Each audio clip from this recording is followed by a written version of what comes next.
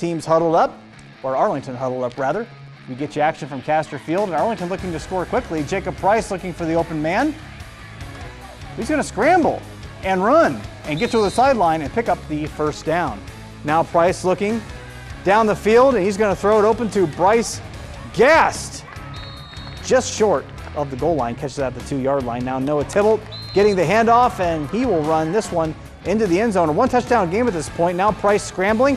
Ball back to Arlington. He'll find Gast again. Nice throw, nice catch, and that will move the sticks. Now Price again trying to find the open man to tie it. Throws it to Austin Freisinger, but Mason Richards for Liberty Benton coming away with the interception. However, Arlington holds them off, and Price will find Gast for the first down and more. Gast gashing the Liberty Benton Eagles defense at desperate, and numerous times now, a desperate play. The ball swatted. Eagles recover this one and secure the victory tonight. Liberty Benton coming away with the 21 to 14 win over Arlington, and you can catch this game in its entirety tomorrow night on WOSN starting at 6 p.m.